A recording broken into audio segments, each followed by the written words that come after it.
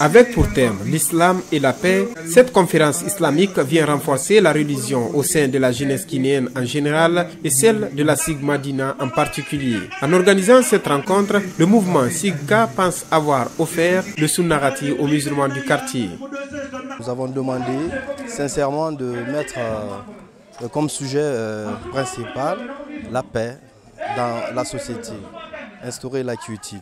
C'est pourquoi nous avons sujet nécessaire d'appeler un bon conférencier pour la jeunesse afin qu'il euh, puisse véhiculer un message concernant la paix.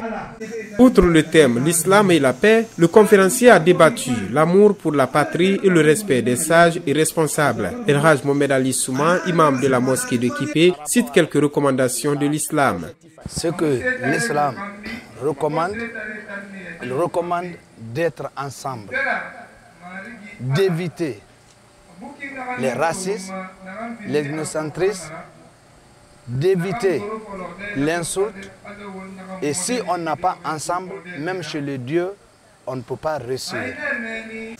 Les participants à cette rencontre islamique ont tiré des bénéfices des conseils prodigués par le conférencier, d'où la volonté des initiateurs de pérenniser de telles rencontres.